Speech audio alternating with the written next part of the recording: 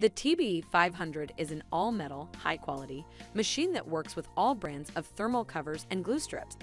Just turn on the power switch located at the right front. In about three minutes, the machine will beep when ready. Use the Select button to select your choice of time settings. For most soft and hard covers, the default 60 seconds will be all you need.